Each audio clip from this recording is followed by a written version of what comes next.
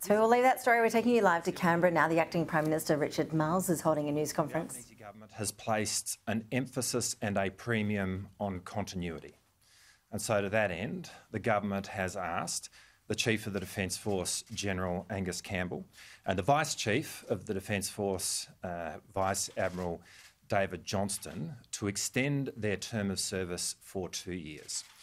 Uh, and I should note, sadly, Admiral Johnston is not with us here today because he has tested positive for COVID. Uh, I've also asked the CDF to extend the term of the Chief of Joint Operations, Lieutenant General Greg Bilton, for the same period.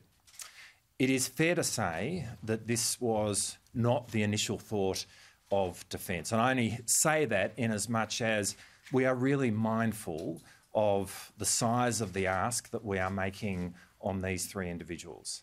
These are really big jobs. And to accept the burden of responsibility of doing those jobs for an additional two years is a very significant undertaking. Uh, but I'm really happy to say that each of them has enthusiastically uh, accepted our request, uh, and we are deeply grateful for their service. Today, we are announcing three new chiefs of our services.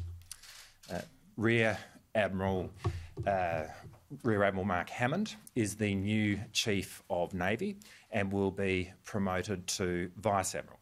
Uh, Admiral Hammond has most recently been the Australian Fleet Commander.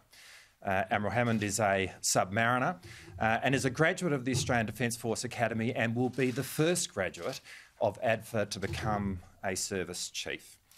Uh, Major General Simon Stuart uh, is the new Chief of Army uh, and will be promoted to Lieutenant General.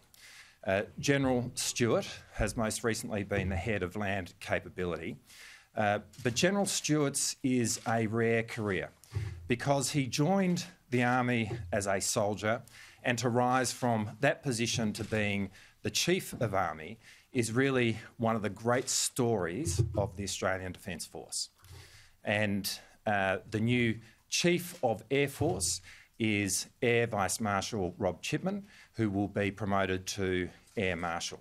Uh, Air Marshal Chipman has been most recently the head of military strategic commitments, but has spent most of his career as a fighter pilot flying F 18s. Together, these three individuals represent the finest qualities of the Australian Defence Force. I want to take this opportunity to thank the three outgoing chiefs uh, Vice Admiral Mike Noonan, Lieutenant General Rick Burr, uh, and uh, Air Marshal Mel Hupfeld.